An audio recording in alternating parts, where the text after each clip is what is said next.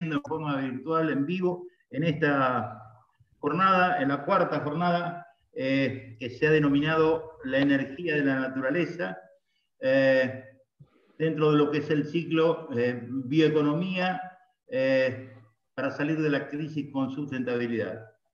en primer lugar, bueno, les comenté, agradecer a los que nos están siguiendo este, y un agradecimiento en lo personal e institucional a los organizadores de este evento que nos permiten eh, participar y formar parte de este grupo de disertantes que, como verán este, dentro de un rato, realmente de sumo interés. Eh, para introducir un poco el tema, solo comentarles que todos sabemos eh, la geografía que tiene nuestro país, la gran, este, las grandes extensiones que tenemos, por lo general los centros de generación de energía, eh, los centros de gran consumo. Sabemos también que eso implica eh, mantenimiento y un tendido de red para el transporte de energía realmente interesante que no es este, fácil mantenerlo. Por otro lado, sabemos muy bien positivamente que hay eh, distintos territorios, numerosos territorios en nuestro país que no disponen de energía o disponen de energía eh, con una oferta eh, irregular eh, y no adecuada a la demanda que realmente requiere básicamente la industria local, la industria en origen. Paralelamente tenemos en esos territorios que por lo general disponen de escasa o nula energía o una oferta de mala calidad en cuanto a la continuidad. Eh, disponemos en esa zona una cantidad de biomasa realmente muy importante. Eh, biomasa que puede ser generada, producida o biomasa residual como consecuencia de básicamente dos factores, residuos de la agroindustria y residuos de este, la actividad pecuaria, que paralelamente la actividad pecuaria eh, Vamos a ver un ejemplo concreto esta tarde. La eh, actividad viene este, intensificándose y toda intensificación pecuaria, el ejemplo que vamos a ver es en Tambo, trae aparejado un aumento considerable del número de animales por unidad de superficie. Y como uno de los principales y, tal vez el primer problema que aparece es el uso de los, el, perdón, el, el residuo de esa producción tan intensa en los efluentes tanto estos efluentes este, de tipo pecuario como eh, de tipo agroindustrial forman un pasivo ambiental realmente eh, preocupante en lo que hace a la contaminación del ambiente. Y mediante distintas tecnologías, vamos a ver esta tarde varios ejemplos, este, se puede transformar en un activo económico, decimos nosotros, interesante, y que da este, una alternativa de solución para eh, generar y abastecer la agroindustria eh, local, la agroindustria en origen, para agregar valor a la producción en origen, que este, todos sabemos que eso trae aparejado, eh, en definitiva, un aporte al desarrollo de las comunidades del interior y eso redunda en un aumento de la calidad de vida. No voy a extraerlos más y voy a dar inicio a las presentaciones de esta tarde. en primer lugar, el ingeniero Juan Carlos Llori, nos va a hablar sobre plantas de valorización de descartes de zanahoria, un residuo que este, él ha venido estudiando y ha generado una información y un ejemplo realmente muy interesante. Los dejo con ustedes, eh, Juan Carlos, te paso la posta. Bueno, eh, muchas gracias José. La verdad que para mí es eh, un orgullo poder estar aquí con ustedes y eh, compartir más que nada una experiencia que hemos tenido con el tema de justamente lo que planteaba José en su momento.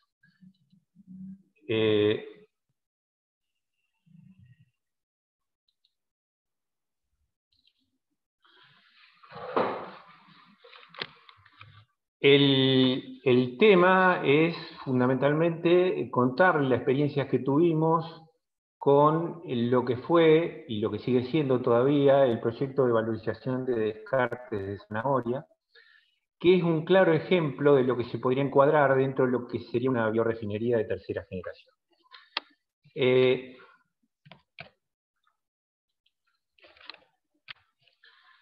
Si uno toma eh, la ruta número uno, que sale de Santa Fe y se dirige para la zona de la costa santafesina, se va a encontrar que eh, mm, con un panorama como el que ustedes están viendo, es decir, eh, campos que rodean a las zonas de cultivo de zanahoria, que son prácticamente unas sábanas anaranjadas, ¿no? Y van a ver que hay eh, fundamentalmente eh, animales que se están alimentando de esto. Eh, ¿Qué ocasiona esto, digamos? No?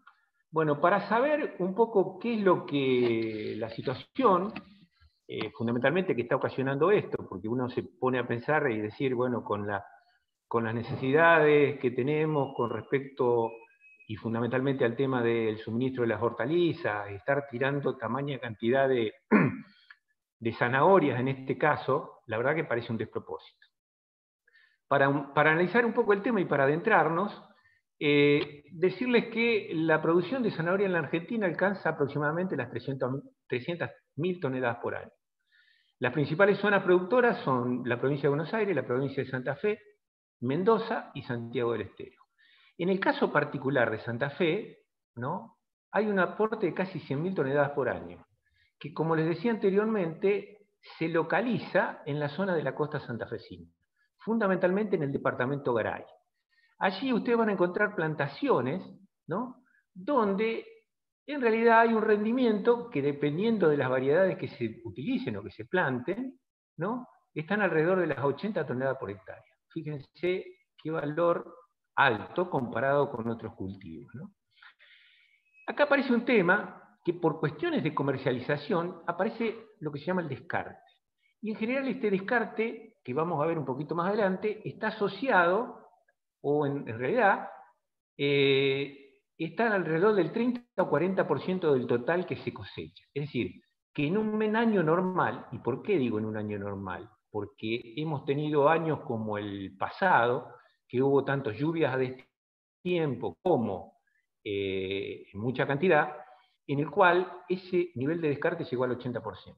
O sea que en un año normal hablamos de entre 30 y 40 mil toneladas ¿no? por año, aproximadamente unas 100 toneladas por día, que se tiran a campo para que lo coman los animales. Los animales solamente aprovechan entre un 10 y un 15% del total que se tira, y el resto se termina pudriendo en el campo, generando un daño ambiental muy grande, además de una pérdida económica importante para el productor. Ustedes se preguntarán, ¿cómo puede subsistir un emprendimiento cuando tiro entre el 30 y el 40% de lo que estoy, de lo que estoy generando? Bueno, eh, esa es una buena pregunta que nosotros nos hicimos al comienzo, cuando empezamos con este proyecto. Pero para entender un poco más, veamos lo que es el circuito productivo de la zanahoria. Es decir, la zanahoria pasa de los campos, ¿no? Y se dirige, se levanta y se dirige a los lavaderos. Allí se lava, se clasifica y posteriormente se embala para salir a los centros de consumo. Esto es fundamentalmente los mercados concentradores y los grandes supermercados. En ese proceso de clasificación aparece lo que se llama el descarte. Este descarte se puede dar por razones físicas, es decir, por una cuestión de tamaño y de forma, ¿no? o por el efecto de plagas, de plagas y parásitos. ¿Ven? Entonces tenemos una zanahoria que por tamaño y forma se descarta y otra que por, tiene determinados problemas asociados a plaga, en este caso, la zanahoria que se deforma, ¿no? también asociada a parásitos, fundamentalmente eh, nemátodos, y eh, la otra que aparece con pilosidades en la superficie. Esto, como se entenderá, no puede ir a mercado, y es lo que termina en campo considerado como descarte. ¿Qué es lo que pasa acá? El productor, por sí solo, eh, digamos, se comienzan a juntar para tratar de buscar una solución a esto. Y acá aparece un primer concepto, que es el concepto de la asociatividad. ¿Por qué? Porque estamos hablando de productores que están acostumbrados a manejarse en el mercado de fresco, que tienen un poder de negociación que es muy bajo, es decir, el producto vale lo que vale en el día, y que necesariamente necesitan de un lavadero para poder comercializar eso. Entonces, este productor se junta con una ONG, que es la Asociación para el Desarrollo del Departamento Garay, y juntos contactan a la Universidad Nacional del Litoral para tratar de buscar una solución al problema que generaba todo este descarte, que evidentemente afecta grande eh, la sustentabilidad de toda la explotación. Y acá aparece el tema del concepto de políticas públicas de apoyo. Es decir, es impensable que este productor o grupo de productores de por sí tengan el soporte financiero como para financiar un desarrollo de estas características. Entonces, necesariamente tenemos que recurrir a políticas de estados ¿no? para poder financiar este desarrollo. Y acá aparece el concepto de consorcio público-privado, en donde participa Valmar, la Universidad Nacional del Litoral la Asociación para el Desarrollo del Departamento de ¿Qué solución tecnológica se pensó a partir desde el desarrollo que se hace en la universidad? Bueno, para eso lo primero que hicimos es tratar de ver en qué estaba o cómo estaba conformada la zanahoria. Y lo primero que vimos es que dentro de los compuestos más importantes, ¿no? encontramos hidratos de carbonos, encontramos fibras fundamentalmente fibras dietarias, y encontramos carotenos. Vemos que hay un alto contenido de agua, de humedad, y que eh, de alguna manera ¿no? nos quedamos en tratar de seleccionar estos tres componentes. ¿Por qué?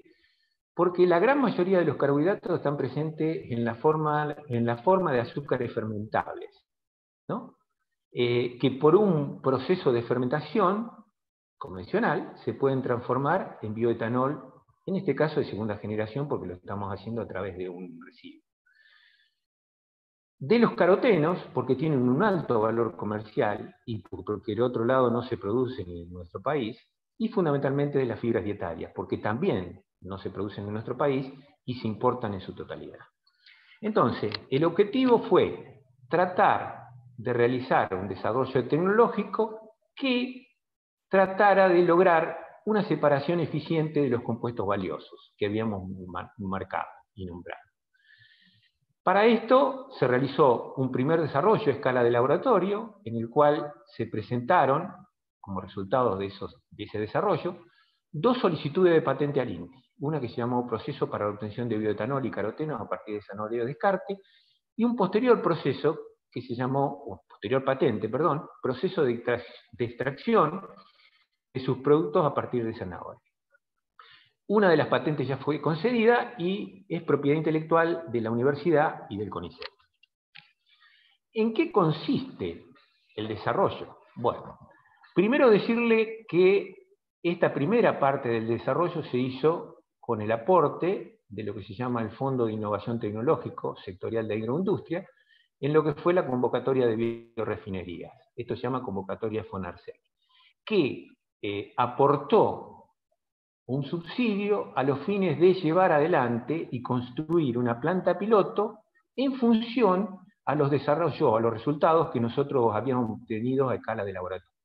Ustedes saben que para eh, llegar a poder eh, desarrollar un emprendimiento industrial a partir de datos de laboratorio, necesariamente tenemos que pasar por un paso intermedio de escalado, que es el tema de la planta piloto.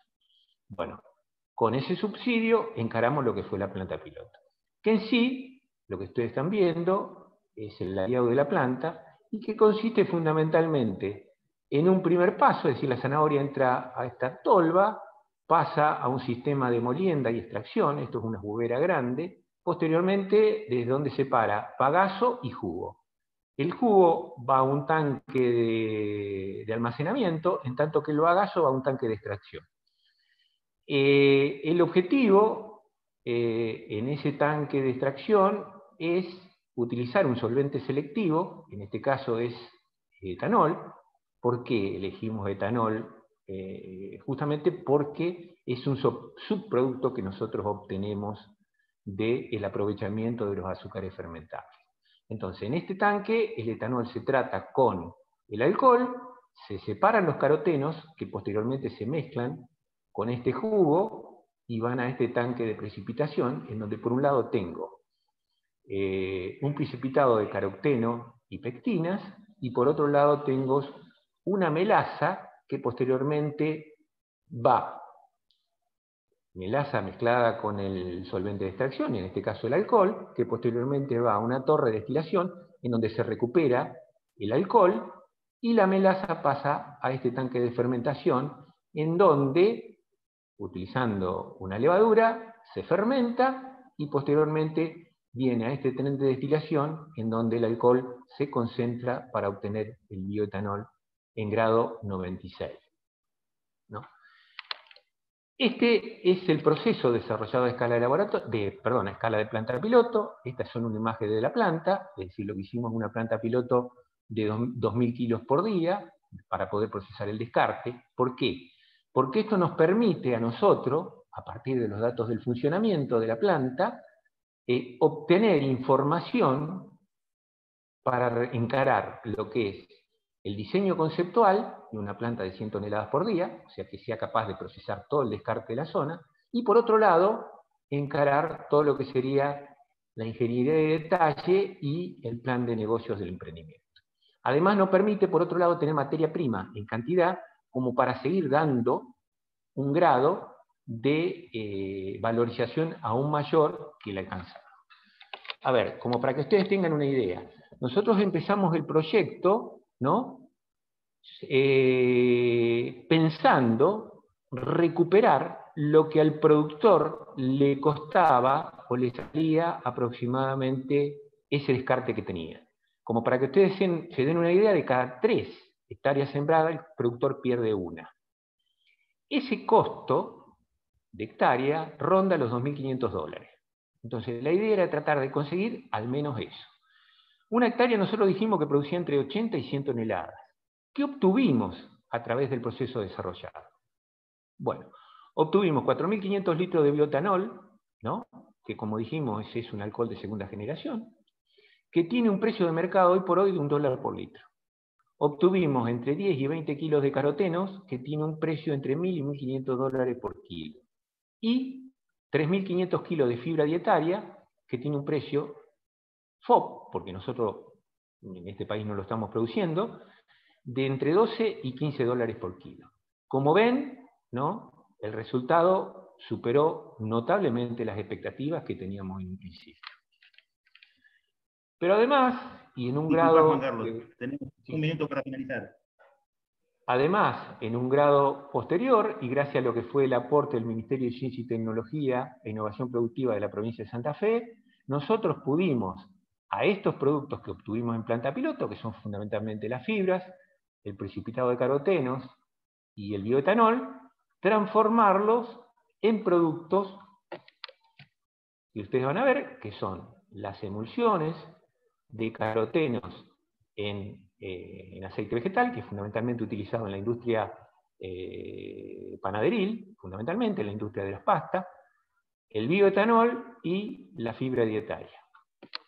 Por otro lado, con la fibra dietaria encaramos la fabricación de alimentos funcionales, esto es fabricación de chorizos parrilleros, todos enriquecidos con fibra, queso por salud y yogures. Y por último, ya ¿no? estamos en la etapa de producir suplementos dietarios, es decir, cápsulas y comprimidos bioreguladores a partir de fibras de zanahoria y cápsulas y comprimidos autobronceantes a base de caroteno de zanahoria. En este sentido, con estos compuestos, querían fundamentalmente a eh, la producción de suplementos dietarios, en donde se está eh, tratando de formar una empresa de base tecnológica, dentro de la cual la universidad sería una de las partes, ¿no? Estamos en prueba de desarrollo en bioterio, en donde estamos viendo, fundamentalmente para el tema de las fibras, un efecto muy importante en cuanto al control de, glucemia, el control de colesterolemia, perdón, y el control de masa corporal. Muy bien, muchas gracias. Gracias, eh, Juan Carlos. Eh, muy bueno lo suyo. Eh, no lo comenté, pero vamos a dejar todas las preguntas para el final. previo yo voy a hacer un pequeño resumen de cada una de las presentaciones.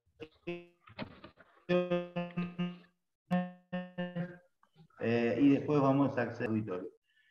para continuar, el ingeniero Lisandro Ferrer nos va a hablar de la empresa de Coagro, nos va a hablar de producción de biogás con desechos de tambo. Eh, Lisandro, tu turno, tu tiempo. Bueno, buenas tardes, muchas gracias por la invitación, eh, gracias por dejarnos participar. Claramente soy la cara visible de un montón de gente que trabaja en Adeco Agro y que día a día pone un poquito más que, su conocimiento para llevar adelante este desafío que es hacer andar eh, todo esto que voy a mostrar. Voy a intentar en 10 minutos poder mostrarle todo lo que hacemos. Eh, después al final, cualquier pregunta, la, va, habrá un espacio para responder. Eh, eh, antes que nada, contarles quiénes somos. Nosotros somos una empresa agroindustrial líder en Sudamérica que producimos alimentos y energías renovables utilizando nuestra máxima eficiencia. Nosotros, por genéticas, solemos vender commodities el commodity es algo que ya tiene un precio fijo, el cual nosotros no podemos manejar.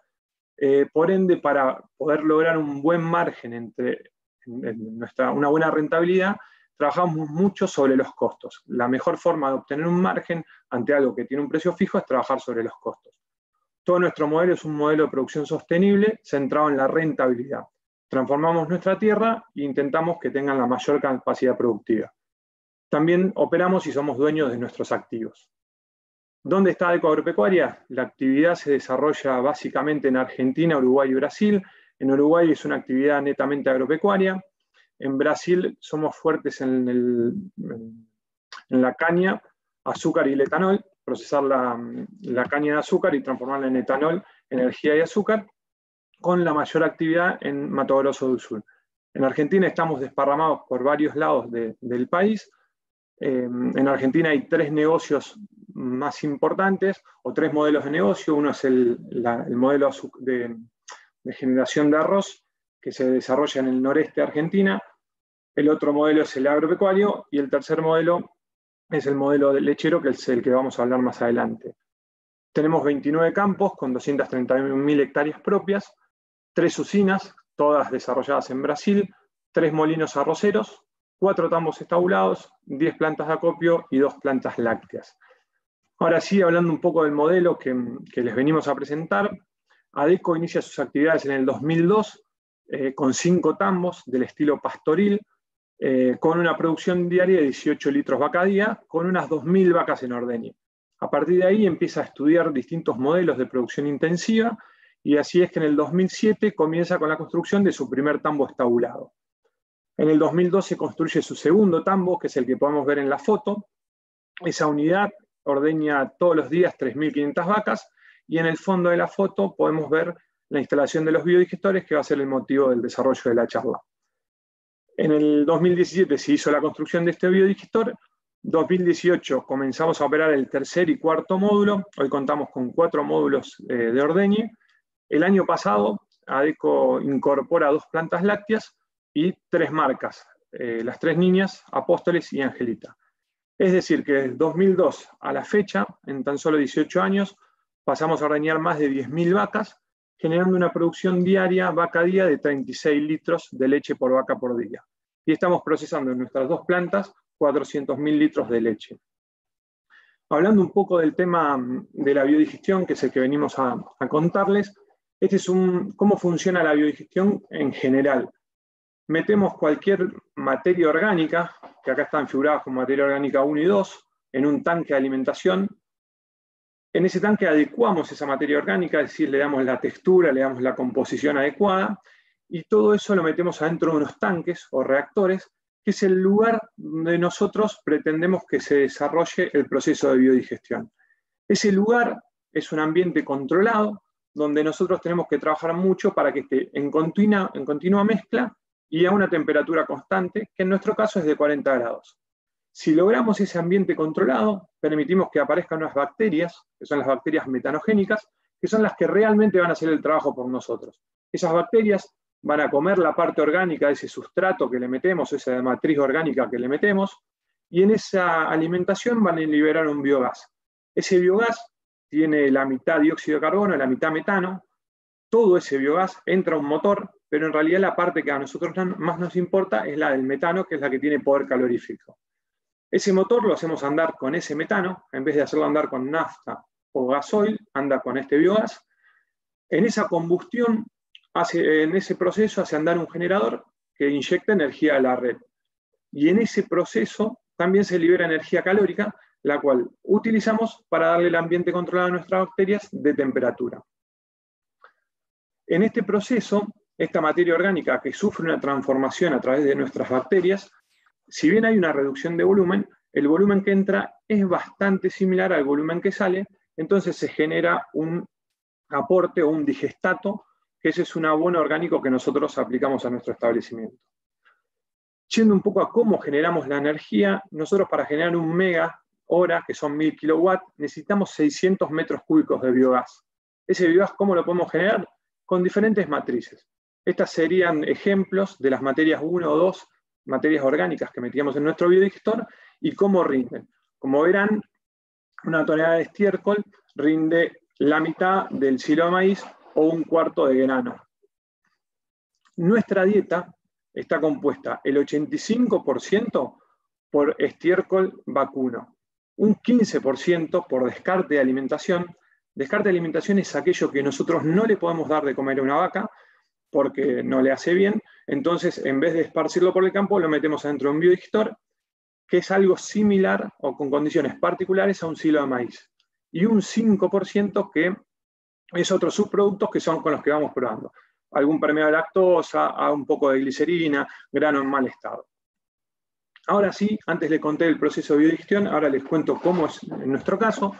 Nosotros le metemos todos los días 15 toneladas de descarte de alimentación, le metemos el estiércol de 6.500 vacas en ordeño. Acá un comentario, la vaca por su sistema rumial o por su sistema digestivo es algo bastante parecido a un biodigestor, con lo cual nosotros decimos que nuestra vaca es nuestro primer biodigestor, que en vez de darnos energía nos, nos da leche. Todo eso lo metemos adentro de nuestros reactores, en nuestro caso tenemos tres reactores, ahí es donde se ponen a trabajar nuestras bacterias, las metanogénicas, que son las que nos hacen el trabajo. Todo ese biogás, lo metemos en un generador de 1,4 megas y eso inyecta energía a la red, con una capacidad de generar 34 megawatt hora por día. Eso equivale a darle eh, suministro eléctrico a 500 hogares. Como les conté al principio, toda esta matriz orgánica que ingresa sale, en nuestro caso sale a través de un separador de sólido, sale como fibra sólida y si no como fibra líquida y va a, a nuestros campos. Nosotros generamos aproximadamente 300 toneladas año de biofertilizante. El biodigestor es un sistema de mejora ambiental, no es una solución a los al manejo de fluente, porque el efluente que teníamos al principio en un estado orgánico lo seguimos teniendo en volúmenes un poco menor, pero siguen siendo grandes volúmenes, por eso decimos que es una mejora. Eh, tenemos un efluente que tiene ahora una característica biofertilizante más disponible para el cultivo, pero seguimos tenemos que seguir haciendo la gestión de nuestros biofertilizantes. Y otro punto importante es que esto genera una mejora ambiental porque transformamos el, el metano, que es altamente contaminante, lo transformamos en dióxido de carbono, que es menos contaminante, con lo cual podemos aplicar a los buenos de carbono. Rápidamente, ¿cuál es nuestra historia? Arrancamos en el 2004 con el negocio lechero y siempre estuvo como objetivo eh, construir un biodigestor, hasta que finalmente en el 2017 lo pusimos en marcha y el 2018 y 2019 fueron años de, generación. Em, en, este, en este gráfico lo que queremos demostrar, las barritas azules, es la generación de llevado a mes, llevado a día. Como les conté, nosotros podíamos generar un, tope máximo de 34 megas por día, que sería esta barra que figura acá arriba, y acá abajo está lo que real nuestro, nuestra generación objetiva. Lo que es celeste es lo que se generó, lo que es amarillo, lo que está pintado en amarillo, es lo por qué no llegamos a ese 34. En el caso de amarillo es por problemas de biogás, y en el caso de que las barritas sean rojas es por problema de línea. Hoy lo decía muy bien José María al inicio, que nuestro sistema nacional es un sistema de muchas redes, de redes muy grandes y falta energía en las puntas de línea. Entonces este es un ejemplo que podemos tener el mejor biodigestor, pero si no tenemos línea es muy difícil inyectar nuestra energía. Claramente nuestro biodigestor tiene beneficios ya sea ambientales como sociales, y nosotros vemos a nuestro biodigestor o a los sistemas de biodigestión y biomasa como una solución a la generación distribuida ya que inyecta energía y potencia en extremos de línea donde realmente se necesita. Es un poco lo que decía hoy José María al inicio. Y ya para ir terminando y pudiendo cumplir con los 10 minutos disponibles, este es nuestro modelo sustentable de, producción. Arrancamos a partir de nuestros tambos estabulados, que a su vez consiguen un suministro o una alimentación de nuestros campos. Esos campos generan un cultivo que le damos de comer a nuestras vacas, nuestras vacas son ordeñadas, es el efluente que generan nuestras vacas se introduce dentro de nuestros biodigestores, que generan 9.000 megas año. La energía se inyecta a la red para nuestras industrias o nuestros tambos, y el resto del fertilizante vuelve a los campos y a cultivo. Hoy estamos produciendo 500.000 litros de leche, nuestro objetivo es llegar a las 15.000 vacas, y toda nuestra leche hoy está yendo a nuestras dos plantas industriales, una ubicada en Morteros, donde se procesan más de 500.000 litros diarios, ya sea para leche en polvo o leche o queso tivo, y si no, nuestra otra planta ubicada en Chivilcoy, donde se procesan aproximadamente los mismos litros, 600.000 litros diarios, y ahí la producción es de UHT, eh, leche larga vida, leche fresca o yogur. Esta es una foto de nuestros últimos tambos. Vuelvo a insistir, claramente todo esto es eh, realizable y ya terminando, gracias a que hay un equipo de personas atrás de todo esto que no solamente pone su sapiencia, sino que además pone mucho esfuerzo personal y permite que esto se desarrolle. Muchas gracias. Gracias, Lisandro. Eh, muy bueno, muy bueno ejemplo. Este, después vamos a guardarnos algunos comentarios y alguna observación personal eh, en cuanto a no a la presentación de Lisandro, sino a cosas, deberes que nos faltan, algo él mencionó. Eh, bueno, en tercer lugar vamos a escuchar al ingeniero Eduardo Lopelli de la Universidad Nacional del Litoral. Eh, su tema va a ser cogeneración con biogás y la empresa Solam, eh, que está ubicada, si no me equivoco, Eduardo, en Timbúes.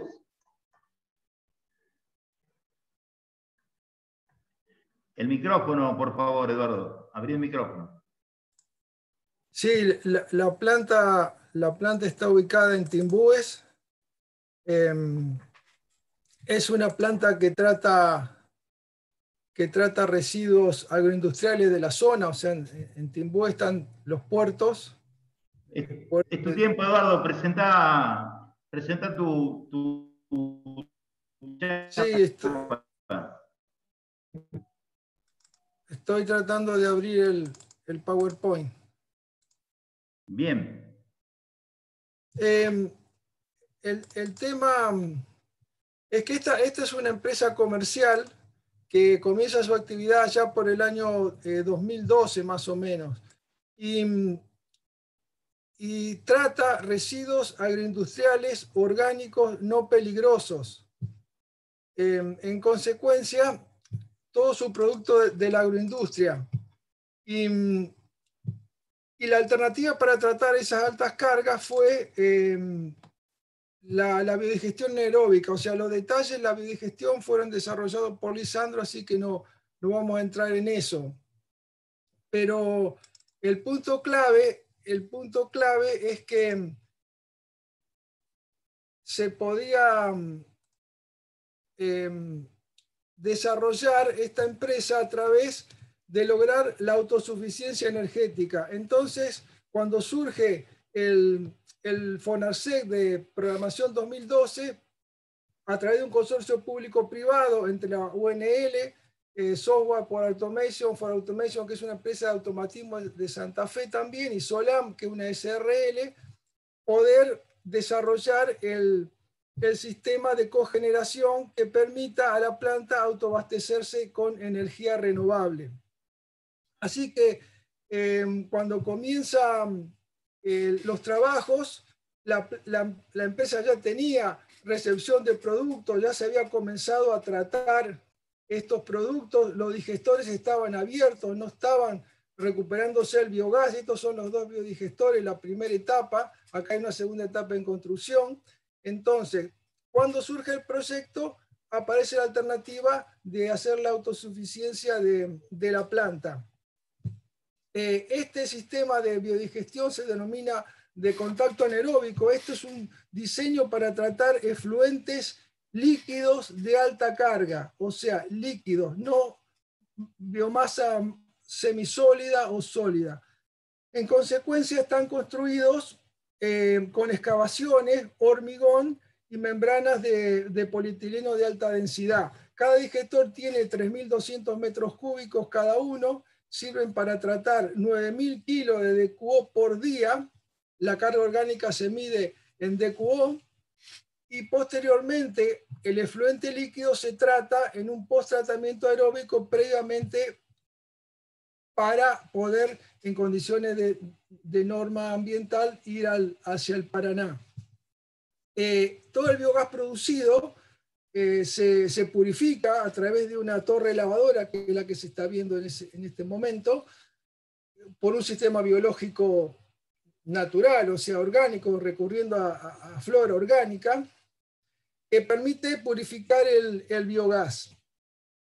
Eh, en consecuencia, eh, este biogás, por ejemplo, acá se ve en el H-Mine, se puede ver un poco en, detalle que un biogás entrando con 740 ppm de sulfídrico termina saliendo con 6 ppm en condiciones de ir a un motogenerador sin problema y a su vez desde un 73% de metano pasa a un 79% de metano. También el sistema permite una pequeña este aumento del, metano para los motogeneradores.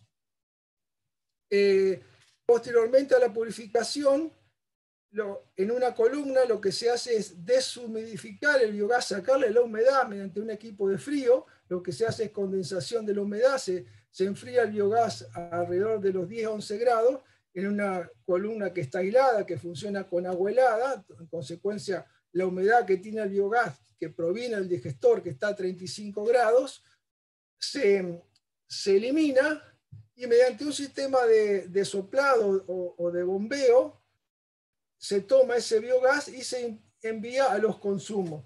Que la planta tiene dos consumos, esos son los soplantes. La planta tiene dos consumos. Uno es energía eléctrica y otro térmico. De aquí surge la, el término de cogeneración de energía eléctrica y térmica.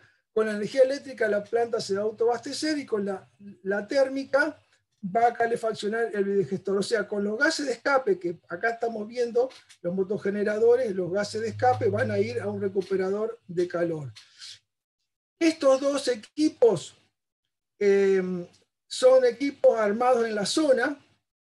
O sea, esto es, una, es un diseño que fue todo 100% con tecnología nacional. Buscando proveedores nacionales, estos dos equipos están armados con un motor Scania y un generador Cramaco.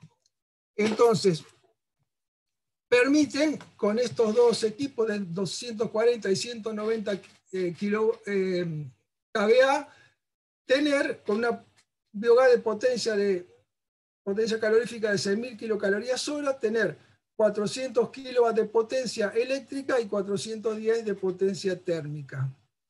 En consecuencia, los gases de escape que se recuperan desde los dos generadores se envían a este equipo, que es un recuperador de calor de alta eficiencia, que permite generar agua caliente a 60 grados, está hecho totalmente inoxidable, para poder calefaccionar el biodigestor. A su vez, este equipo tiene un quemador adicional porque hay veces que en invierno hace falta calefaccionar el digestor este, para lo cual se recurre a un quemador adicional que está montado eh, en el mismo equipo que permite utilizar parte del biogás directamente para hacer energía térmica, justamente para la, época de invierno.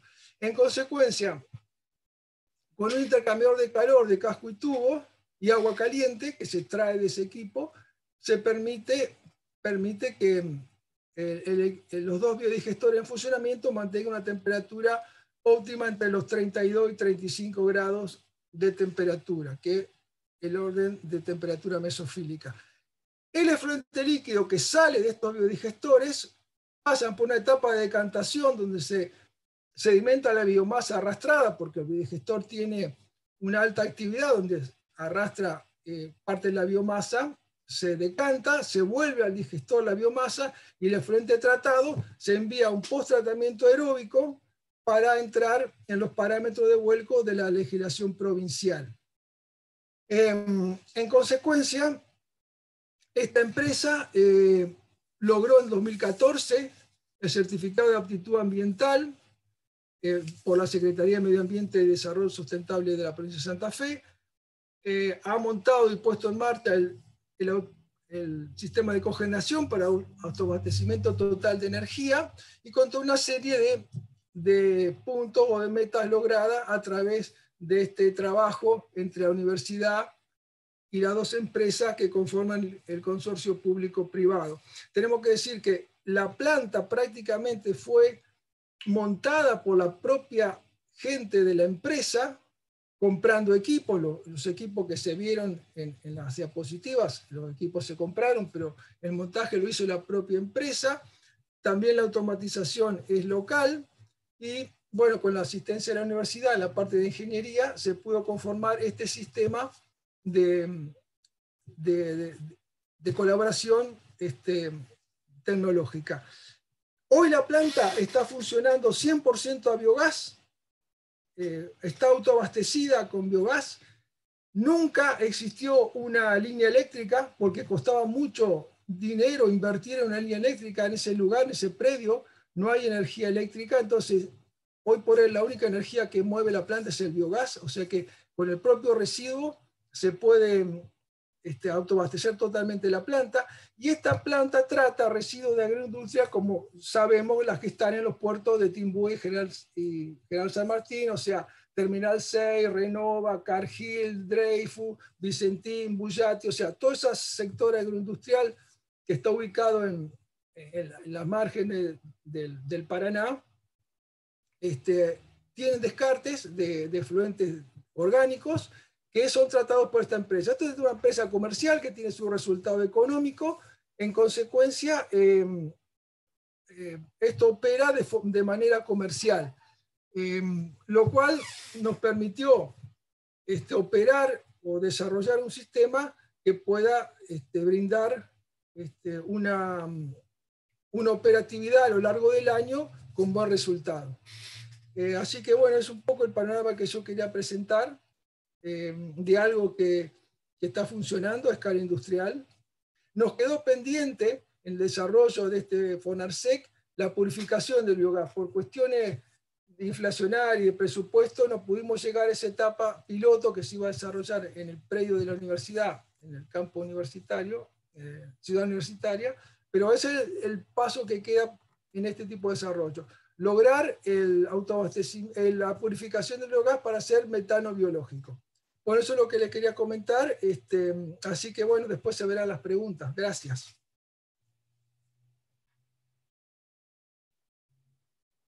Muchas gracias, Eduardo. Eh, Después, bueno, ahí están por el chat haciendo algunas preguntas, las vamos a dejar para el final para poder contestarlas. Eh, a continuación, eh, la ingeniera María Mercedes Echarte, de INTA Valcarce, compañera institución, eh, nos va a comentar un, un proyecto que viene desarrollando que es generación de energía para una localidad, para una comunidad en concreto, algo así, creo, María Mercedes. María Mercedes, tu, tiempo. Gracias. Sí, bueno, antes que nada, gracias por la invitación. Eh, lo que les voy a contar es un proyecto, van a ver significativamente más modesto que todo lo que acabamos de escuchar. ¿Ven la presentación de pantalla? Se ve, se ve perfecto. Bueno, muy bien. Em, lo que nosotros estamos llevando adelante es un proyecto que se titula Unidad Demostrativa de Producción de Biogás en un pueblo rural que es Los Pinos. Eh, antes que nada les quiero comentar que eh, la Argentina es un, país de trayectoria de pueblos rurales, eh, pero sin embargo en las últimas décadas el sistema productivo, la intensificación agrícola, el incremento de, de los establecimientos de cría intensiva, han sometido a estos pueblos a una serie de tensiones que ha tenido un impacto negativo sobre las comunidades rurales, de manera que la cantidad de pueblos rurales que, existen en el país ha ido perdiendo mayoritariamente a su población. Las razones para que esto ocurra son principalmente la, la, desocupación y los bajos salarios, la contaminación ambiental que generan muchas de esas actividades intensivas, el bajo acceso a servicios básicos como educación, salud, transporte que existe en el ámbito rural, y sobre todo, y lo que por ahí nos mantiene a nosotros más eh, preocupados en este tema, es la dificultad de acceso a la energía. Todas estas externalidades eh, someten a la población rural a una, situación de marginación y hacen que sobre la, población joven eh, se mude a centros urbanos buscando oportunidades laborales y de mejorar su calidad de vida. Los Pinos no escapa a esta situación. Es un pueblito de unos 340 habitantes ubicado en el sudoeste de la provincia de Buenos Aires. Está flanqueado por una serie de establecimientos de producción intensiva. Hay criaderos de aves, de cerdos, tambos, feedlots. Y toda esta situación ha generado algunos conflictos entre la comunidad y el, gobierno local, sobre todo porque los vecinos se quejan constantemente de problemas de, de olores, de invasión de moscas, pero además el pueblo Sufre de cortes frecuentes de luz y de picos de tensión que a veces queman sus artefactos. No existe red de gas. Eh, la principal fuente de, calor es la garrafa, el GLP, o por sus altos costos, muchas veces la leña. Considerando eh, este, este, contexto, nos propusimos en la Unidad Integrada Balcarce eh, construir una unidad demostrativa de producción de biogás que demostrara los beneficios de transformar eh, residuos que en, principio y en la actualidad eran contaminantes en recursos valiosos, como podrían ser la energía que el propio pueblo podría utilizar y la producción de biofertilizantes. Me voy a saltear la explicación de lo que es la digestión anaerobia, Lisandro ya explicó claramente. Eh, lo que nosotros proponemos particularmente es la construcción de un biodigestor de una capacidad de 100 metros cúbicos, que procesara los residuos de eh, una granja avícola, el, bueno, de, gallinas ponedoras y los efluentes de, un establecimiento de cría de cerdos. Eh, y con el biogás producido, nuestro principal objetivo era tratar de acondicionarlo y distribuirlo para uso doméstico, eh, sobre todo porque eso atraía bastante el interés de la comunidad, aunque siempre tuvimos en cuenta la, idea de destinar una pequeña proporción de ese biogás a la generación eléctrica, simplemente a modo demostrativo, para mostrar la, versatilidad que tiene el biogás como fuente de energía. Y por supuesto también eh, eh, dedicamos esfuerzos a tratar de condicionar el digerido para transformarlo en, una enmienda de valor agrícola que, digamos, que sea sostenible. Para poder encarar este proyecto, lo primero que tuvimos que hacer fue crear un equipo de trabajo que es transdisciplinario y mm, transdisciplinario me refiero a que involucra diferentes actores sociales que eh, pertenecen tanto al, sistema científico universitario como autoridades de gobiernos y a, la, propia comunidad. Estas tres patas sostienen el proyecto y la única manera de poder llevarlo adelante es cuando las tres patas funcionan. Específicamente dentro del sistema científico universitario eh, somos un grupo muy variopinto de, de, profesionales, de docentes, de investigadores que tenemos distintas distintas fortalezas y negociamos nuestros saberes y nuestros conocimientos para, dar cada paso, porque la visión que tenemos de este proyecto eh, es bastante holística, ya les voy a contar.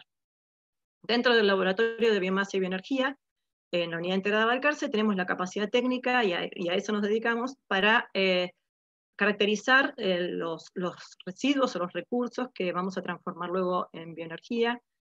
ponemos mucha atención en caracterizar diferentes fuentes de biomasa y queremos sobre todo conocer cuál va a ser el rol de la agricultura dentro de la producción, por ejemplo, de biogás. Eh, hacemos, llevamos adelante ensayos tanto en escala de laboratorio como a escala piloto, y para eso colaboramos con el Laboratorio de Ingeniería Bioquímica de la Facultad de Ingeniería de la Universidad de Mar del Plata, y eh, diseñamos nuestro biodigestor, que va a ser el corazón de la unidad eh, demostrativa de producción de biogás, en colaboración con el Laboratorio de Ingeniería Ambiental de INTI Mar del Plata. Como pueden ver, el biodigestor consta básicamente de un tanque agitado de mezcla completa, calefaccionado, con una cámara de precarga. Para poder iniciar el proyecto eh, fue necesario establecer alianzas con el gobierno local y conseguimos que Ferrosur Roca, gracias a estas alianzas, se diera una porción de un terreno que antes pertenecía a los ferrocarriles, hoy totalmente en desuso, eh, que tiene como, digamos, estratégicamente está ubicado eh, posicionado entre la comunidad y los productores de, residuos. En colaboración con una empresa privada iniciamos la obra civil hace un par de años, vamos lento, pero vamos. Acá les muestro algunas imágenes del estado actual de construcción. Lo que pueden ver es la tubería de carga, la conexión a la cámara de precarga, con un bypass eh, tenemos un sistema de, de, homogenización por circulación, eh, implementamos tres puntos de muestreo para caracterizar cómo funcionaba los diferentes estratos de, los lodos, se ve una imagen del sistema de calefacción, todo esto es, eh, la diferencia quizá de lo que acabamos de ver, muy low cost, hecho por nosotros, todo es tecnología nacional, el biodigestor tiene un domo flexible de PDM, eh, está protegido de, o sea, eh, tiene un domo de eslingas para evitar que la cubierta toque el pelo de agua. Y junto con, los objetivos tecnológicos que persigue este proyecto, eh, manejamos, digamos, tenemos un gran interés por lograr que este desarrollo sea adoptado por la comunidad. Y para eso tuvimos que trabajar muy fuertemente junto con los vecinos. Al principio nos dedicamos a contarles de qué se trataba, a informarlos, pero lentamente el, equipo evolucionó de manera que terminamos codiseñando las estrategias junto con los vecinos de la comunidad. Como uno de los objetivos del proyecto era que la propia comunidad manejara su biodigestor, que fuera la encargada de administrar, de operar y de, mantener el biodigestor, luego de muchas reuniones eh, guiadas por el, Grupo de Economía Social y Solidaria de la Facultad de Ciencias Económicas de la Universidad de Mar del Plata, llegamos a la conclusión de que la, mejor forma administrativa para lograr eso era una cooperativa. Y finalmente, hace poco más de un año, se constituyó la cooperativa de servicios y consumo Los Pinos Limitadas, y entre sus primeras acciones lo que, lo que hizo fue seleccionar al personal son vecinos de Los Pinos, que en el futuro van a operar eh, la, unidad demostrativa de producción de biogás, diseñaron su logo, establecieron puntos verdes, eh, participaron activamente de la construcción de algunos de los componentes del biodigestor, porque este, este proyecto además persigue objetivos educacionales que tienen que ver con el compromiso de la comunidad, eh, su conocimiento sobre el cuidado de la energía y su, y su compromiso con el cuidado ambiental. Junto a la empresa de Buenos Aires Gas Sociedad Anónima, estamos actualmente trabajando en la red de distribución. No es, es, un punto nada sencillo eh, dentro del, proyecto justamente porque es la primera experiencia que conocemos en el país de este tipo. Eh, más allá del diseño de la misma red, eh, existen algunas, algunas, algunos obstáculos normativos que estamos tratando de sortear y para eso fue necesario incluso eh, que la empresa eh, entablara ciertas, cierta discusión con Enargas y logramos que se hiciera una modificación de una normativa de distribución que ahora sí contempla el biogás como un gas combustible que hasta el momento no existía. Bueno, y por último, eh, les quería hacer una especie de resumen de lo que les acabo de contar. Dentro del, laboratorio estamos empezando a utilizar una herramienta que nos permite tener un panorama global del proyecto. Es una herramienta que se llama teoría de cambio. Simplemente es un documento eh, vivo que uno va modificando a medida que el, proyecto avanza y lo que nos permite es testear si los supuestos de los cuales nosotros eh, arrancamos para, para eh, proponer un proceso de transformación dentro de una comunidad son ciertos y nos permite también monitorear cómo es el avance de este proyecto. Nuestros supuestos, en realidad, que es esta, esta columna de datos que tienen ustedes a la izquierda, son los insumos sobre los cuales el proyecto eh, arranca. Algunos componentes, como ven, tienen que ver con la demanda de la comunidad. Ya les hablé de la dificultad de acceso a la energía y de la contaminación ambiental que los vecinos reclamaban. Ah, eh, otros insumos son las, oportunidades de financiamiento y de marcos legales que quizá antes no existían y ahora eh, están un poco más disponibles. Y el tercer componente de, este, de estos insumos es con qué estructura contamos nosotros para dar respuesta a esa demanda. Eh, nosotros sabemos que a partir de una situación que en este momento implica un conflicto quizá entre vecinos y gobierno local, queremos llevar una, un desarrollo que mejore la calidad de vida de los vecinos y que se transforme en un desarrollo rural energético sostenible. Entonces, una vez definidos los insumos, simplemente lo que hicimos fue definir algunas acciones que necesitamos para eh, dar respuesta a, esa problemática. Y en realidad hay un conjunto de acciones que rodean a la unidad demostrativa de biogás que son, eh, no necesariamente tienen que ver con la digestión anaerobia. Muchas veces tienen que ver con la capacitación de, la población, tienen que ver con la educación ambiental, con la generación de conocimientos en el caso del sistema eh, académico. Y a, a, lo largo del desarrollo de esas acciones eh, vamos a ir teniendo ciertos productos que tienen la virtud de ser medibles, mensurables. Entonces, es una manera para nosotros de establecer indicadores que nos permitan definir si estamos siendo exitosos en el camino o si tenemos que eh, redefinir la estrategia de acuerdo a, ciertas dificultades que van apareciendo en el camino. Como consecuencia de haber realizado estas acciones, lo que, lo que vamos a obtener son resultados intermedios que por lo listo de la mirada sobre el problema, esperamos que sean resultados en diferentes dimensiones, en la dimensión energética, en la, en la dimensión social, en la dimensión económica, en la ambiental y en la tecnológica.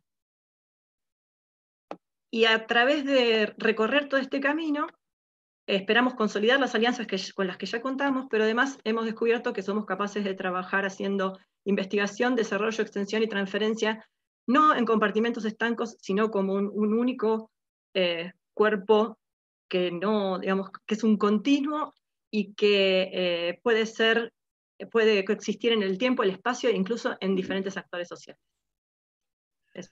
María Mercedes, estamos con el tiempo cumplido. Eh, muy buena la presentación. nos hace ver de ir un poco más allá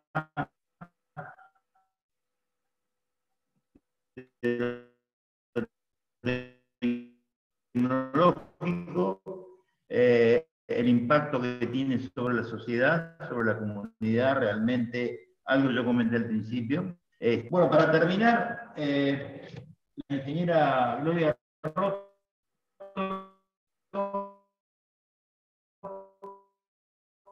nos va este, a esta promoción promoviendo la economía circular, algo que últimamente se está hablando y mucho, y eh, Gloria es una, una, especialista en esto, está trabajando en este tema un tiempo.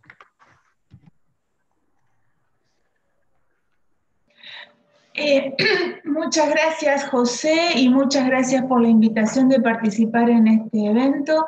Estoy con algunos problemas, espero que no me pasen ahora y a vos te estoy escuchando muy cortado. Espero que me estén escuchando bien. ¿Se escucha bien? No te vemos. Ah, eh, bueno, no importa, porque yo escucho bien entonces, gracias. Este, entonces, bueno, eh, promoviendo la, mi, presentación forma parte dentro de este proyecto en el que estoy involucrada y con el, con el que comparto este, proyectos dentro de INTA también. Em, desde, los, desde los años 70 es que estamos consumiendo eh, más recursos de los que realmente el planeta puede generar en nuestro tiempo de vida y producimos enormes cantidades de desechos que no procesamos y ustedes mismos los han estado exponiendo ahora en forma realmente muy clara. Este, todo esto ha sido basado dentro de un paradigma de producción lineal en donde se hace y se desecha y no valoramos el aporte que hace a nuestros productos los recursos este, naturales que en realidad todo lo que nosotros usamos tiene un componente de recurso natural. Entonces, Em, no solo eh, tenemos, entonces tendríamos que hacer un cambio de visión, un cambio de mirada y trabajar en conjunto con la naturaleza. Esa, esa alternativa y nos, la, nos las está ofreciendo un marco, un concepto que ahora se llama como economía circular, dándonos una nueva oportunidad de innovación e integración del ecosistema natural con la sociedad, con las empresas, con nuestra vida cotidiana este, y con la eh, gestión de residuos. Pero para ello también, como recién decía María Mercedes, necesitamos tener un pensamiento y una visión más sistémica de, precisamente del, del entorno en el que nos movemos y tener, y tener una concepción diferente del trabajo, en donde el trabajo es una interacción de capacidades, de conocimientos y de sapiencias, un, un trabajo interdisciplinario y si es posible transdisciplinario. Em, em, bueno, en, en, el hecho de la economía circular es, eh, pasa por usar los desechos que está generando un proceso o un producto. Pero no solamente se centra en eso, sino como decía, en un, conocimiento, en un pensamiento sistémico. Tenemos que partir desde el diseño de la concepción del proceso o del producto que vamos a generar. Cómo se van a sacar esas materias primas, cómo se va a producir, hasta cómo nosotros vamos a reutilizar los desechos que se va a producir en nuestro proceso. Eh, entonces tenemos que cambiar algunos conceptos, como el que estaba diciendo, tener una mirada en vez de lineal de la producción, una mirada sistémica. Eh, también tenemos que cambiar a lo mejor, o a lo mejor tratando de cambiar algunas palabras, nos posiciona diferente. Consumir por usar. Es decir, en, el diccionario de la Real Academia Española dice que consumir es destruir o extinguir, mientras que usar es hacer servir una cosa para algo. Cuando nosotros utilizamos algo que sirve para algo, nos posiciona mentalmente de otra manera. Y como les decía antes, también tenemos que cambiar el tomar, hacer y, desechar por las cinco o las siete R's. Es decir, ver al sistema en donde nosotros podemos, en vez de desechar, reusar, reparar, reciclar a partir de un rediseño y pensar nuevamente cómo podemos hacer esa producción.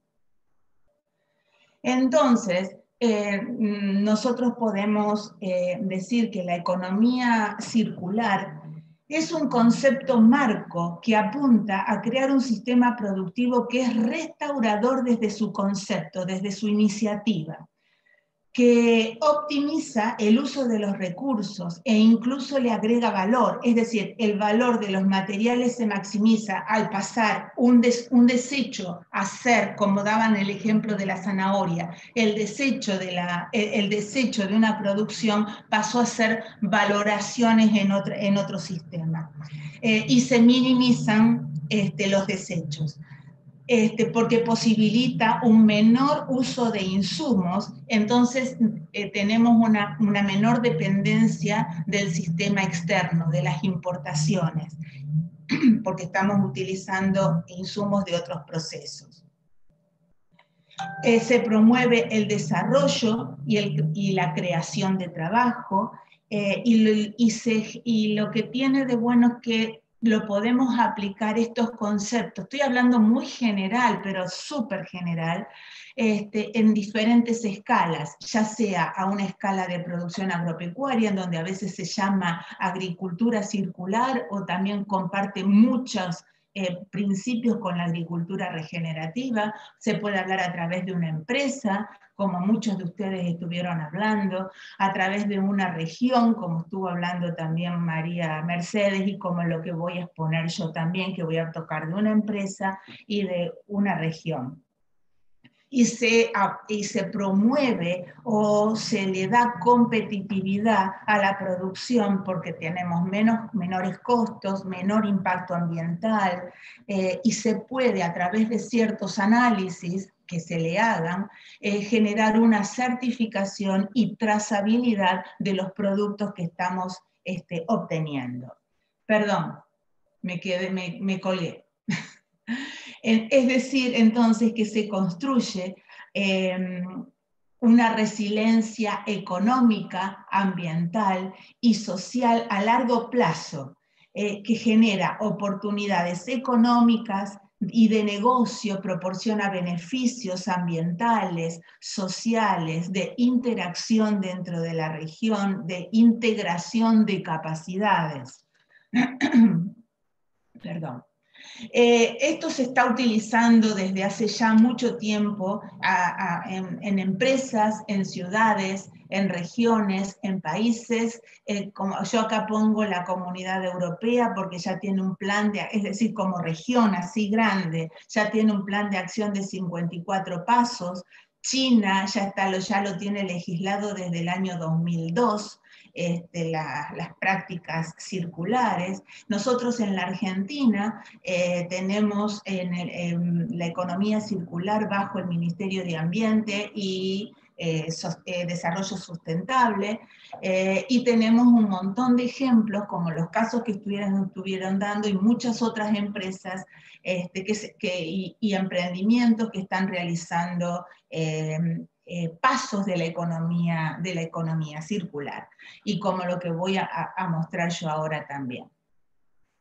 En, el caso en, en el que nosotros estamos trabajando desde, desde la experimental, eh, y, la, y, toda la región, ¿no? Es el estudio de esquemas circulares en sistemas agroalimentarios en el norte de la región pampeana y estamos utilizando una región geográfica como centro. Elegimos esa región geográfica precisamente por una cooperativa, la cooperativa de Monje, que es realmente un ejemplo de integración y de uso de sus eh, de sus desechos, por decirlo de alguna manera. Ahora me voy a detener un poquito en eso. Y, y la experimental de Oliveros como un sitio de referencia, es medio pomposo el, nombre, pero para denominarlo de alguna manera, eh, para los sistemas agroproductivos que alimentan a la cooperativa. Entonces, entonces nosotros tenemos esta región en donde Monje eh, que es la cooperativa, recibe los granos, eh, la mayor parte de los granos los exporta, pero parte de esos granos realiza alimento balanceado que alimenta a, a cerdos eh, y otra parte de esos granos van para la extracción de aceite con los que se generan espeller y aceite metilado. Con ese aceite metilado se genera combustible que ya están utilizando para la movilidad de sus vehículos y con todos los, eh, los residuos de todas estas eh, subproductos, digámoslo, se, se alimenta un biodigestor. Ese biodigestor alimenta de electricidad a la planta de generación de aceite y se pretende eh, transformar a los digeridos en biofertilizantes eh, que van a alimentar al, que van a alimentar a los campos más cercanos que están proveyendo de grano a esta cooperativa. Obviamente que acá están marcados los más cercanos, que son los que estamos estudiando y estamos encuestando. Son muchos más, este, pero se estableció eh, los que están más cerca de la cooperativa como primera etapa. Em, en el sitio de referencia, que nosotros denominamos así, estamos estableciendo un sistema de rotaciones semejante al de la región, con la incorporación de cultivos de cobertura multi, multiespecie y la incorporación del componente animal, con la idea y el objetivo de disminuir la utilización de insumos, mejorar el suelo y disminuir el impacto ambiental. Esto puede contribuir y colaborar con la producción de los, eh, con la producción de los productores de la zona que alimentan a la cooperativa, eh, inclusive logrando a lo mejor en cierto grado mejorar sus propias producciones, que van a mejorar. Gloria. ¿Sí? ¿Me escuchan?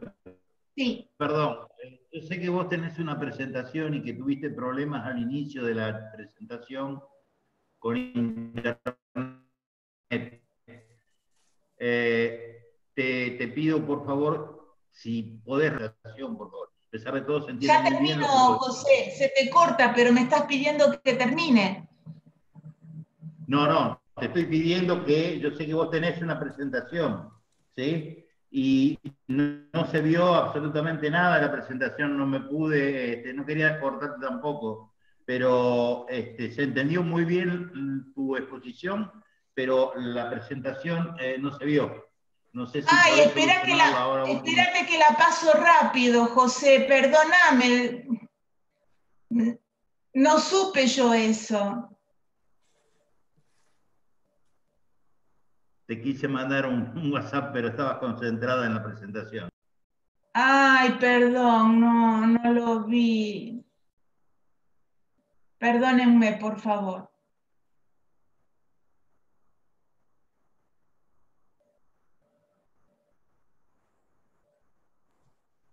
Ahí sí se ve. Perdonen, perdonen.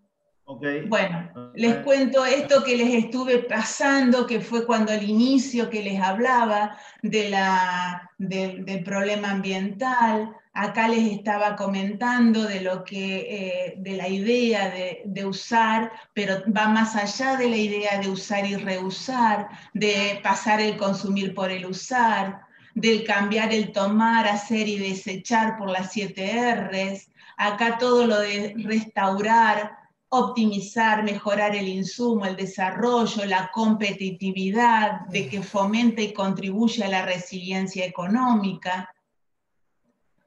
Acá los otros usos, en, en, los otros lugares en donde se está usando, les hablaba de la comunidad europea, les hablé de China, bueno, y este es el desarrollo que yo les hago así cortito, porque no voy a decir todo de nuevo para cansarlos. Esto es lo que estamos haciendo en la zona de oliveros. Ahora sí se los pongo en pantalla completa. ¿eh? ¿Me escuchan? ¿Me escuchan? Sí, se escucha perfecto. Dale. Bueno, esto, esto era lo que les estaba diciendo, que elegimos una región que es Monje eh, y la experimental de Oliveros como sitio de referencia. Acá, en donde lo que les estaba explicando, se entendió, lo repito, lo de la planta.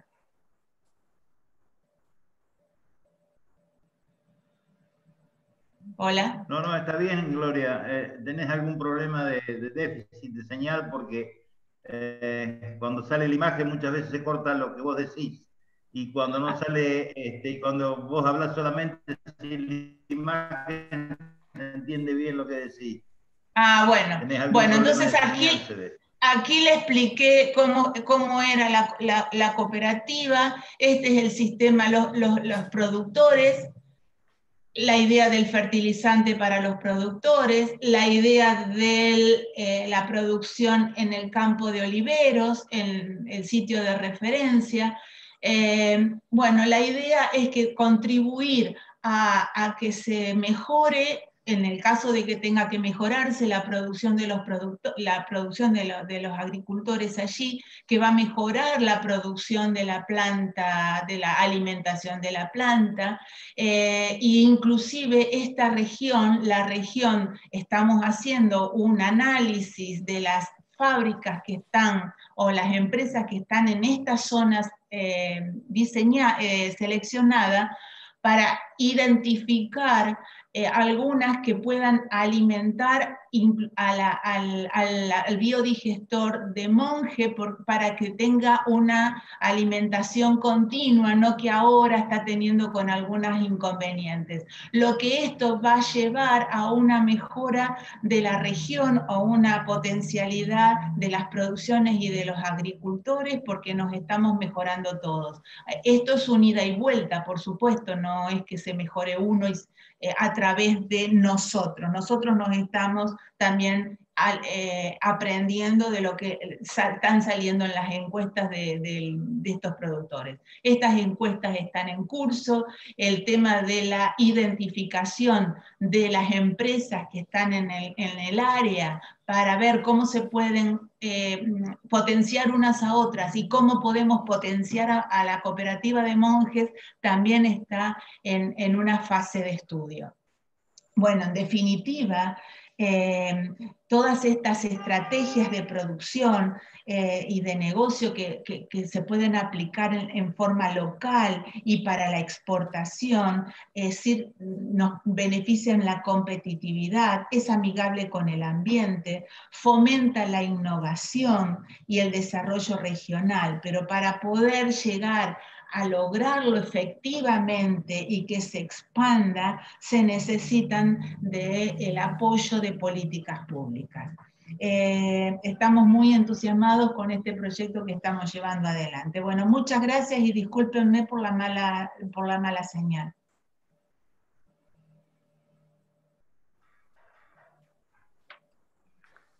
Gloria, roto.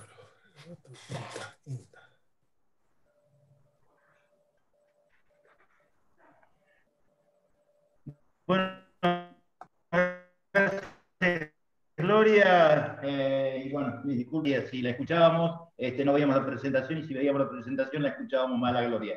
Pero bueno, de todas maneras, eh, y ya les contesto una de las preguntas que están en el chat, eh, creo que las presentaciones van a estar todas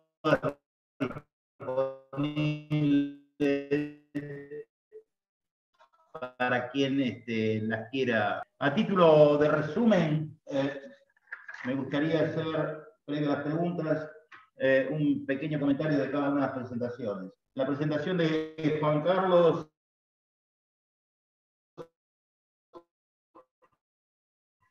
eh, de María Mercedes, la asociación pública o privada es una herramienta indispensable para llevar adelante este y tantos otros proyectos. Eh, el consenso entre lo público y lo privado, como vimos eh, de ejemplo, tanto en la presentación de Eduardo como la de Juan Carlos, como la de María Mercedes, este, realmente tienen sus frutos. Eh, la presentación de Juan Carlos realmente a partir de, de un problema y un consenso de distintas partes, se llega a un, de un residuo, de un pasivo ambiental, como decimos nosotros, que eh, ocasiona serios problemas al ambiente y eh, pasa a ser realmente un negocio interesante y atractivo eh, la variedad de productos que se pueden llegar a obtener a partir de este descarte. En cuanto a la presentación de, de Lisandro, biogás a partir de desechos de, de residuos de, Tambo. Eh, yo conozco la empresa de él, conozco el sistema de biodigestión. Realmente eh, eh, esa energía, además de producir energía, se produce un biofertilizante. Y aquí una de las, de las cosas que quería comentarles, y es un, tal vez un pedido o reclamar algo. nos preocupamos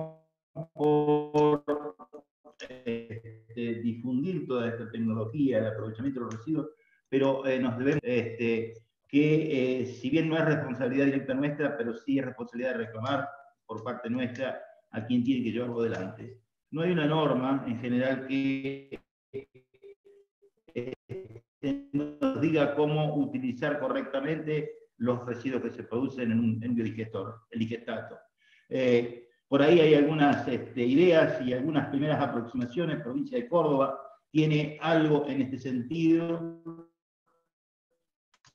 pero este, no sabemos cuánto debemos tirar, si estamos ocasionando un daño gestionado y que hemos reducido sensiblemente su, carga orgánica y, es un beneficio para los cultivos. Pero no hay algo que establezca que diga cómo debemos usar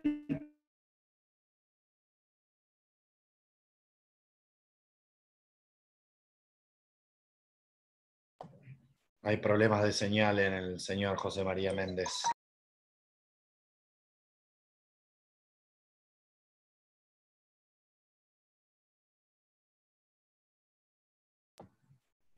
Nadie escucha, ¿verdad? No se escucha. No tiene un problema de, de internet.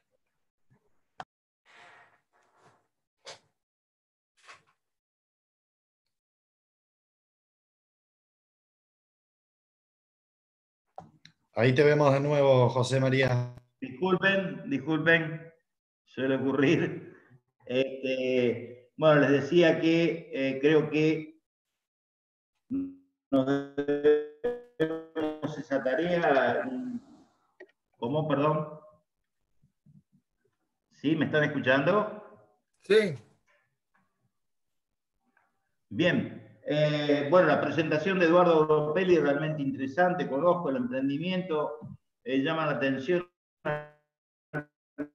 innovador, una planta eh, de tratamiento de residuos no peligrosos, este, líquidos creo, que se autogenera energía, realmente algo muy, muy interesante. Hola. ¿Qué más hay que rescatar? Lo que yo rescato. Disculpen. Eh, Hola. Hola. Hola. Sí, disculpa, por favor, José María, pero es imposible. Eh, evidentemente no podemos mejorar la, la, cuestión, la cuestión técnica. ¿A mí me escuchan bien? Sí. Bueno, eh, yo les quiero, eh, José María, si apagas el video, seguramente puede mejorar tu, eh, la, voz, el sonido. veo que estás con el video apagado. Sí, lo apagué para mejorar este, el audio. Bueno, perfecto. A ver si podemos y si no le pasamos las preguntas. Ahora? ahora te escuchamos.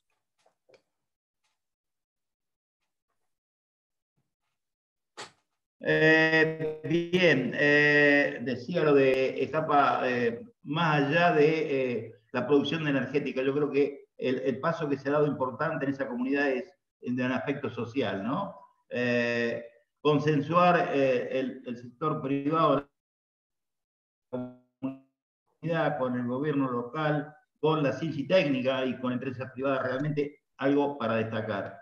Y bueno, y finalmente lo de Gloria, lo de Gloria lo conozco muy bien, el ejemplo que ella citó, la cooperativa de monje, realmente una, una empresa pujante y destaca que la bioenergía es una herramienta eh, fundamental en un proceso de economía. Destacar eso y que, bueno,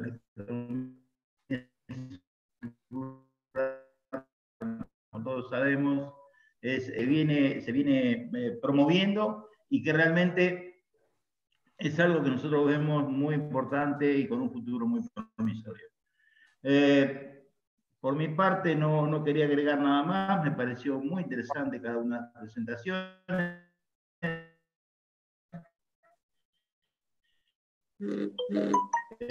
hay una serie de preguntas realmente. Una de las preguntas es para María Mercedes, eh, si tenés el dato de la cantidad de la capacidad de generación de energía que tiene ese biodigestor.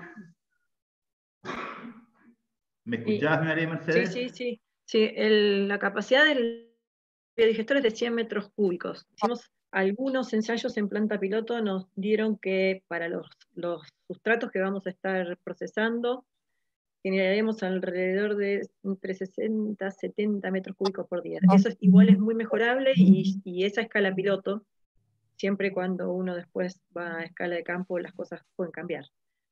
Yo soy optimista y se supone que cuando uno tiene 100 metros cúbicos de biodigestor puede producir 100 metros cúbicos de biogás por día, más o menos.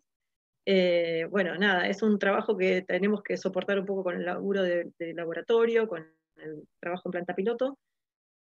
Eh, eso, si yo mal no recuerdo, da unos entre, alrededor de 25 kilowatt hora de potencia. Lo que pasa es que como nosotros no vamos a generar energía eléctrica, eh, justamente una de las decisiones pasó por ser eficientes en el uso de ese biogás y entendemos que la máxima eficiencia de energía se recupera cuando uno combustiona directamente el biogás. Tan pronto se transforma en energía eléctrica, hay cierta cantidad de energía que por más que uno recupere el calor en un sistema de cogeneración, eh, por la eficiencia del motor se pierde. Bien, gracias María Mercedes. Para, para Lisandro, eh, la empresa de Coagro, una de las preguntas que nos hacen, eh, yo la conozco porque conozco la empresa, eh, tuve oportunidad de visitarlo un par de veces. Eh, pero bueno, nos preguntan para Lisandro si la energía que se produce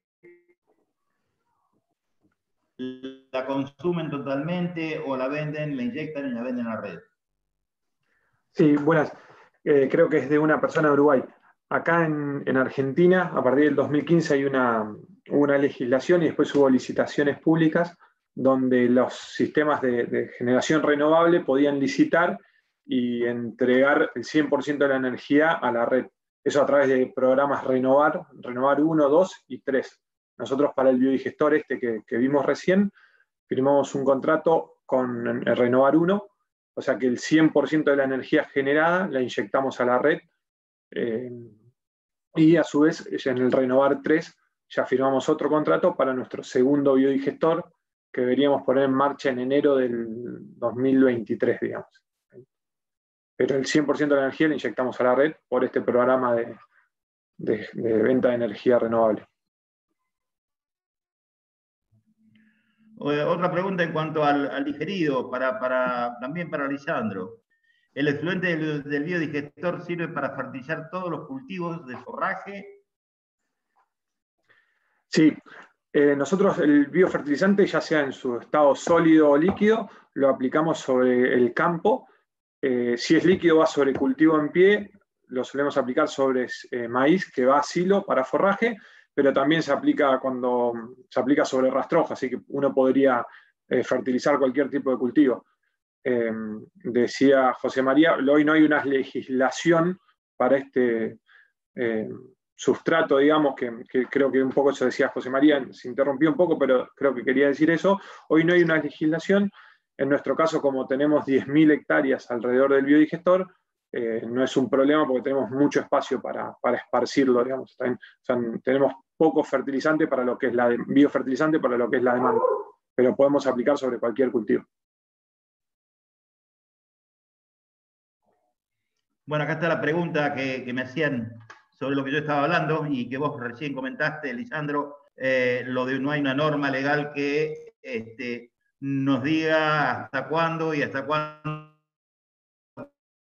podemos este, aplicar eh, bio. Los veces promovemos una, estamos promoviendo la utilización de una tecnología y no tenemos en cuenta qué es lo que eh, pasa con lo que se genera con esa este, tecnología. Sabemos que el digerido utilizándolo en un cultivo tiene una respuesta realmente importante, nosotros evaluación de eh, rendimiento de maíz, de alfalfa, este, de trigo, utilizando biofertilizantes y realmente sustituyen a los fertilizantes químicos en una gran proporción, este, ahorrándonos un montón de cosas desde el punto de vista ambiental, desde el punto de vista económico, desde el punto de vista social, si se quiere. Pero no tenemos estudios que nos digan hasta cuándo ni cuánto podemos utilizar. Eso debemos tratar de normalizarlo, generar alguna norma legal que nos este, posibilite. En otros países existe todo esto. Eh, yo he tenido oportunidad de verlo donde este, tienen cupos de utilización de, digerido, y el resto hay que sacarlo de la empresa y transformarlo en otra cosa. Eh, eso es un poco lo que yo quise decir y que este, estuvo aclarando también Lisandro cuando yo hablaba, se entrecortaba. Eh, hay un montón de tiempo. Eh, tal vez si hay alguien que está anotando y siguiendo todas las preguntas que tiene el chat, sería bueno que las que faltan contestar, llevar Eh, y contestar, contesten después porque, bueno, agradecimientos hay varios y eh, preguntas quedan varias por contestar. No sé cómo estamos en tiempo. Aquí queda una... La, verdad que estamos, estamos eh, con el tiempo cumplido. Les queremos agradecer, decir que en, la, en el canal de YouTube van a quedar absolutamente todas las presentaciones, que tomamos nota de las preguntas que no han sido respondidas y se las vamos a transmitir a los panelistas para responderlas en el ciclo. Eh, les agradecemos profundamente a todos y a todas y que eh, los esperamos el, próximo martes con un nuevo eh, webinar acerca de las biofábricas. Vamos a a partir de mañana a mandarles las eh, invitaciones y los eh, comentarios de, esta, de, esta, de este encuentro. Muchísimas gracias y les pedimos disculpas por las dificultades técnicas que hemos tenido, bueno, que obviamente forman parte de esta nueva normalidad que estamos viviendo y de los déficits que la Argentina tiene en conectividad. Así que muchísimas gracias a todos, hemos aprendido mucho y bueno, seguimos trabajando.